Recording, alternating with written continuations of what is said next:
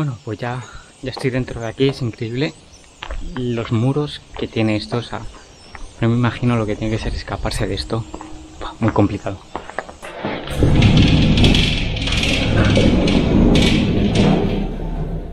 No sé por qué motivo hay aquí un montón de colchones apilados, pero huele mal y hay bastantes animales en descomposición. Lo que voy a intentar hacer es encontrar una habitación que esté en una zona elevada, porque no sé si puede venir más gente y tengo que tener todo el equipo bastante seguro. Así que espero que lo encuentre rápido porque esto, ya os digo, es enorme. Pues en la celda 22.5 es donde voy a preparar aquí lo que es mi campamento.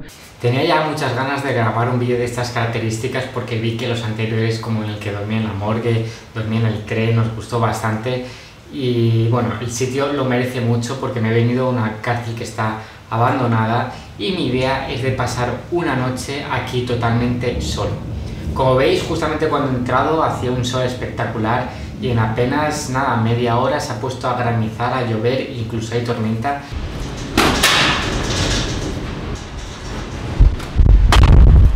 Y bueno, lo que voy a hacer ahora es acondicionar un poco lo que es esta celda, eh, esta celda que es la que donde voy a estar un día entero y para ello pues bueno, voy a recogerla un poco, a limpiarla, a preparar la cama, todo eso y después de eso ya empezar un poco a explorar lo que es la cárcel porque os digo que es algo muy grande, o sea, es una cárcel enorme, es un laberinto y la verdad es que está chulísima. Pero antes de comenzar a recoger mi cuarto voy a pasarme por la enfermería para intentar encontrar objetos de limpieza y desinfección ya que si voy a pasar ahí la noche quiero tener las bacterias bastante controladas en mi habitación y más en los tiempos en los que corren ahora mismo. Vamos para allá.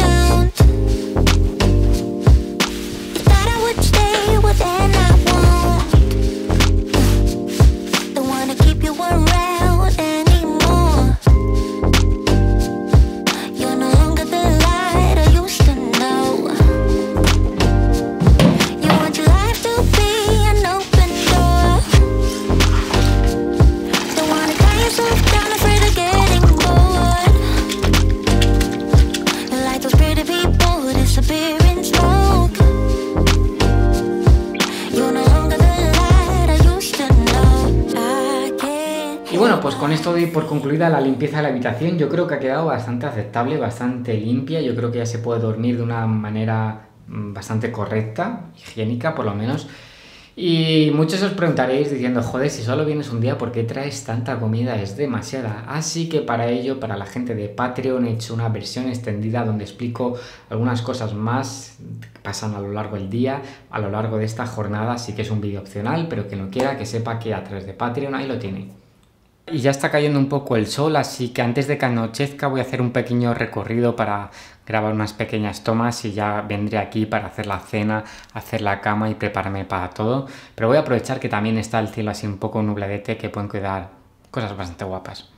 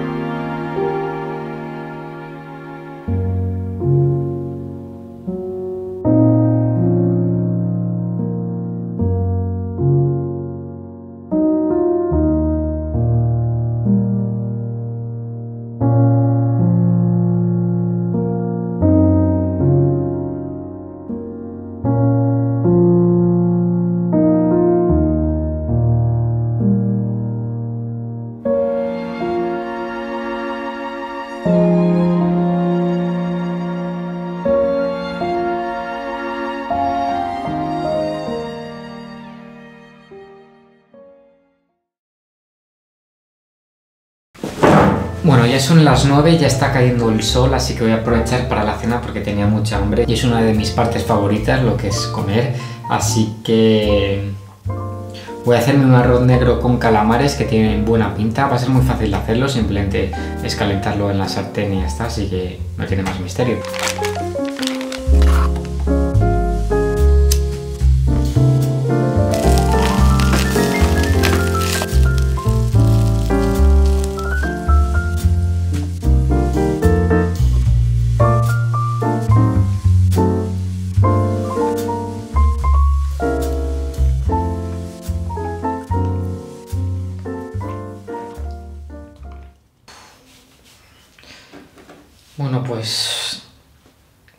Completamente de noche, eh, estoy muy muy cansado después de todo el día y voy a empezar ya a preparar lo que es la cama porque ahora mismo de noche pues tampoco hay mucho que hacer por aquí.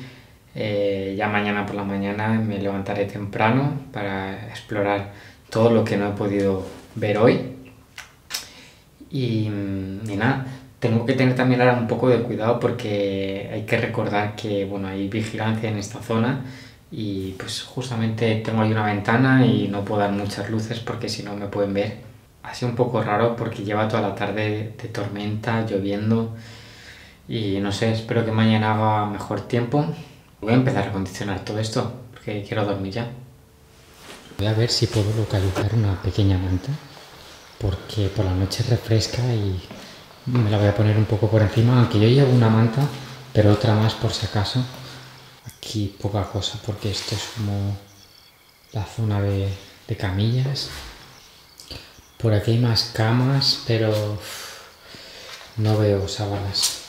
Quizás alguna de otras celdas pueda haber, pero tampoco veo nada.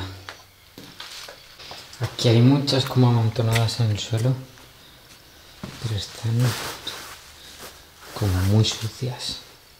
Así que tampoco me van a oler estas. A lo mejor podría aprovechar algo de esto. Estos sí son mantas y están como en buen estado. Así que las voy a coger. Lo que voy a hacer ahora es poner este cubo de basura justamente en la puerta esta para dos propósitos. Primero, que con el viento no se abra y me pueda despertar por la noche y segundo, que si viene alguien, pues tendría que retirar ese cubo, haría ruido y yo me enteraría.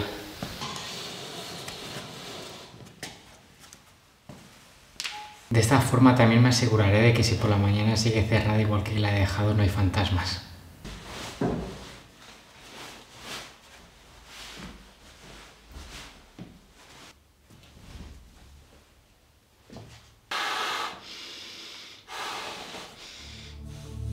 Voy a poner a dormir, son como las 11 más o menos, las 11 menos cuarto. Y bueno, un poco diferente la experiencia, por así decirlo. Hay mucha gente que cuando ve estos vídeos me dice que eh, como no tengo miedo, que por qué lo hago y todo eso. Y bueno, no sé, yo por ejemplo lo comparo... Eh, imagínate el vigilante de seguridad que está aquí, que también está solo, la gente que no tiene hogar y tiene que dormir en la calle solo. Y yo aquí me siento seguro, eh, entre estas cuatro paredes, eh, lo ha acondicionado un poco como a mí me ha, venido bien. Y sé que es peligroso eh, estar en un sitio como estos, sé que es peligroso dormir solo y bueno, que te pueden pasar muchas cosas, pero yo dentro de la experiencia que tengo me siento bastante seguro aquí y, y nada, un sitio más en los que compartir experiencia de dormir en un sitio en el que poca gente quería estar porque nadie quiere estar en la cárcel y me va a servir como experiencia para experimentar lo que es dormir un día aquí. Sé que no se puede comparar a cuando estás en la cárcel real, pero bueno, a mí me gusta ir a sitios así que están abandonados y tener vivencias un poco diferentes y espero que esto os esté gustando. Eh, para mí también es momentos de reflexión donde eh, estoy yo mismo solo pensando en mis cosas, eh, desconectando del, de lo que es el mundo exterior y me siento bastante confortable, la verdad, por así decirlo. Y eso es un poco lo que yo os quiero expresar y transmitir con, con estas vivencias y estos vídeos.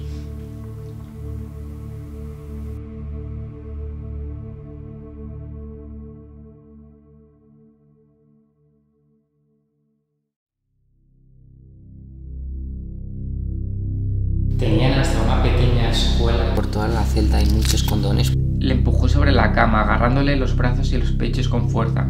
Después le quitó los pantalones. Por ejemplo, aquí se describe de una persona, fijaros que es de 11 años, y comenzaba a meterle mano por dentro del pantalón. Manifiesta que la tocaba por todo el cuerpo e introducía los dedos en sus partes.